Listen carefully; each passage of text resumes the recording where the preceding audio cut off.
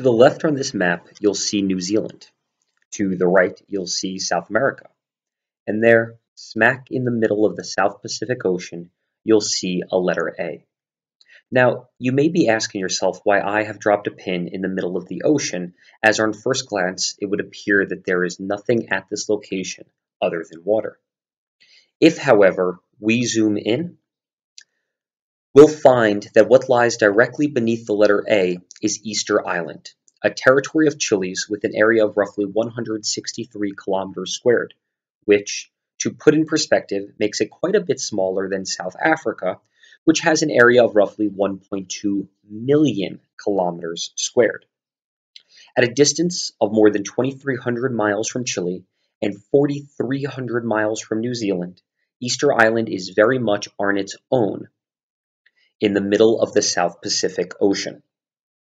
In spite of its proximity to other civilizations and societies, at its peak, it had a population of roughly 18,000 people and flourished in terms of its social and political complexity and systems. However, by the time that a Dutch navigator by the name of Jacob Roggeveen made contact with the island on Easter Sunday, 1722, there were only 2,000 inhabitants left. What happened to Easter Island's civilization? Rano Raraku is a circular volcanic crater on the island about 600 yards in diameter. Surrounding the volcanic crater are 397 stone statues, representing in a stylized way a long-eared, legless human male torso.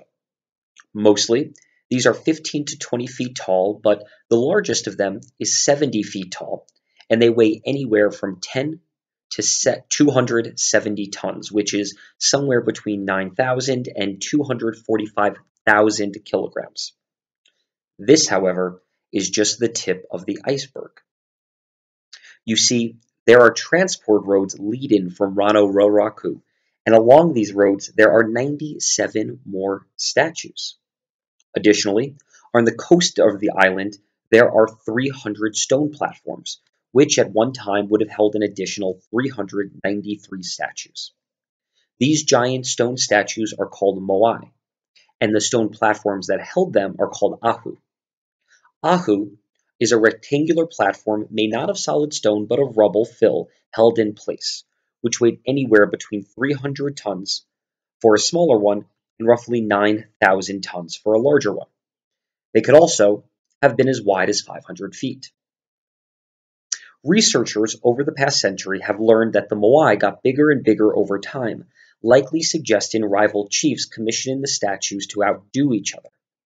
This theory is further supported by the later presence of the pukao, a cylinder red headdress that sat on top of the moai and weighed an additional 12 tons, which you can see here in the photo. Red, because it was the color of the red bird's feathers, which were prized by and reserved for the chiefs.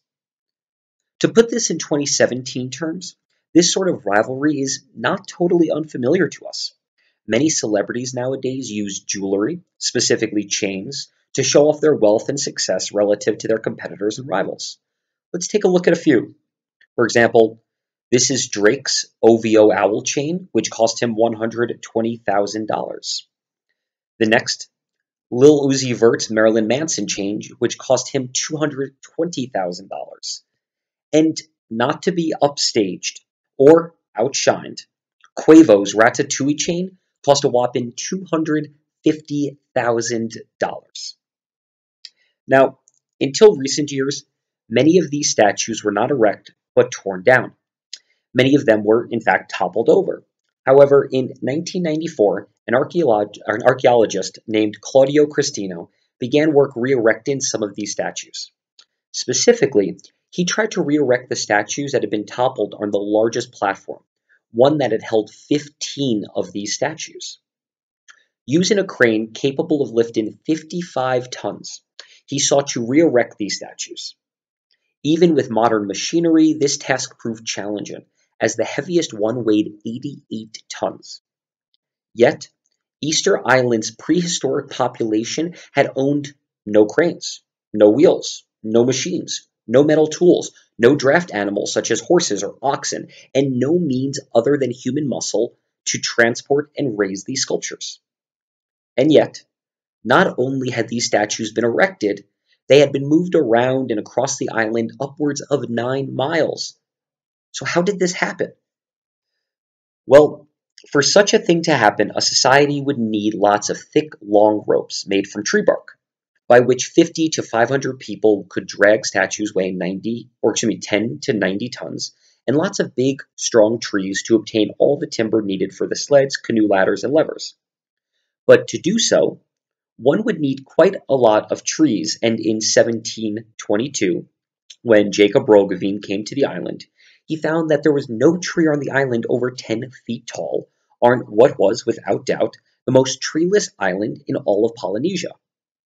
It's precisely this that has led to many conspiracy theorists using the statues on Easter Island as proof of extraterrestrial life, as how else could these statues have been erected and moved by a civilization that didn't have trees, let alone modern machinery, which, let me remind you, also couldn't move these statues?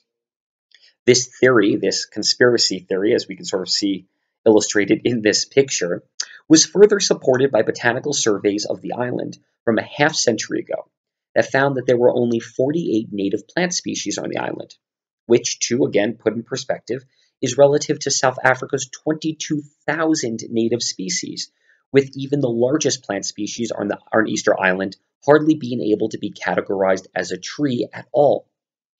In other words, even scientists were stumped for an explanation. Fortunately, botanical surveys have evolved in recent years, and botanists now have the measures to recover evidence of now extinct plant life. In conducting a recent botanical survey of the island, botanists found 21 vanished plant species, many of which would have been valuable to the islanders, such as a form of the Chilean palm tree, which is over 63 feet tall, or others that can grow to well over 100 feet.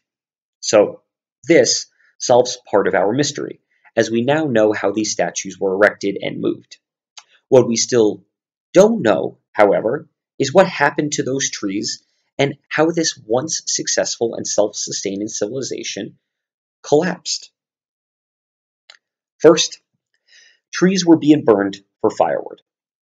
Second, trees were being burned to cremate bodies.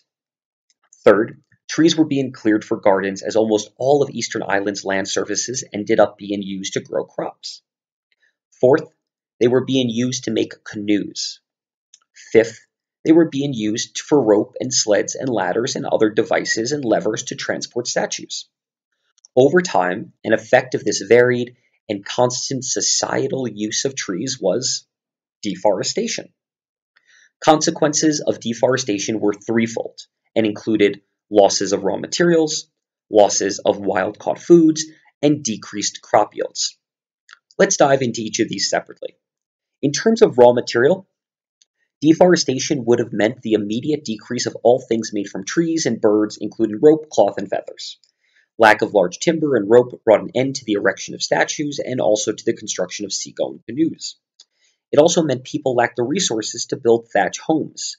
It also meant that people were without wool for fuel, for fuel to keep themselves dry and warm during Easter's winter nights and driving rain.